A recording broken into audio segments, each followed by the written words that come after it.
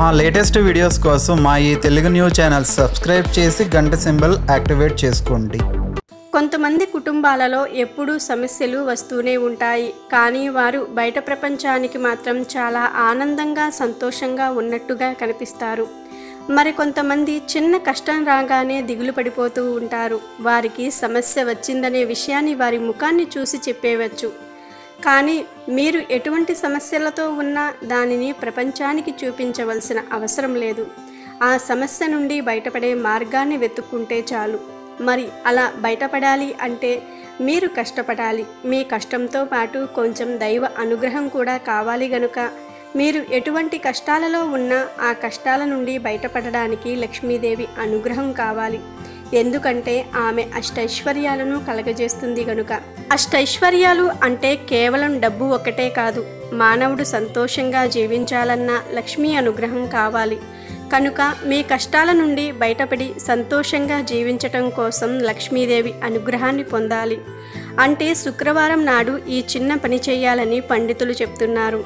శుక్రవారం మొదలుకుని మండలం పాటు లక్ష్మీ అష్టోత్తర నామావళిని రోజుకు మూడుసార్లు పఠించటం చాలా మంచిది. ఇలా లక్ష్మీ అష్టోత్తర నామావళిని పఠించటం ద్వారా తాను కోల్పోయిన రాజ్యాన్ని ఇంద్రుడు తిరిగి పొందాడని శివపురాణంలో ఉంది. అంతేకాకుండా ఈ పరిహారాన్ని స్వయంగా శివుడే పార్వతీదేవికి చెప్పటం జరిగింది. కనుక ఇది ఎంతో అద్భుతమైన ఫలితాలను తెచ్చిపెడుతుంది. ఈ పరిహారాన్ని శుక్రవారం నాడు మొదలుపెట్టి నలభై రోజులు పఠించాలి. ఈ పరిష్కారంతో పాటు ఈ నలభై రోజులలో ప్రతి శుక్రవారం నాడు ఉదయాన్నే నిద్రలేచి శుభ్రంగా స్నానం చేసి అమ్మవారిని పూజించాలి. అమ్మవారికి ఆవు నెయ్యితో దీపం వెలిగించాలి. మల్లెపూలతో అమ్మవారిని అలంకరించి దీపధూప నైవేద్యాలను సమర్పించి మీ సంకల్పాన్ని చెప్పుకోవాలి.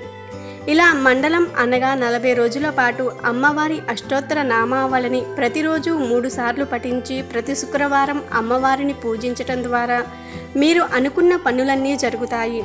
ప్రతి పనిలో విజయం పొందుతారు. డబ్బు సమస్యలు దరిచేరవు. మీరు కోల్పోయిన ధనం మరలా మీకు తిరిగి వస్తుందని స్వయంగా శివపురాణంలో చెప్పబడింది.